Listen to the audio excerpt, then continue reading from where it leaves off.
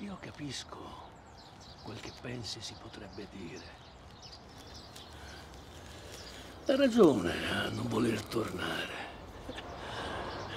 E chi lo sa com'è stare dentro, dentro quell'omaccio di Luca.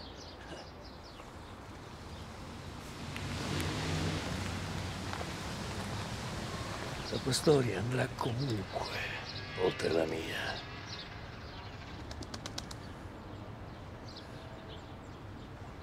Tu pensa a far bene soltanto ciò che le anime sanno fare. E sarai sempre felice.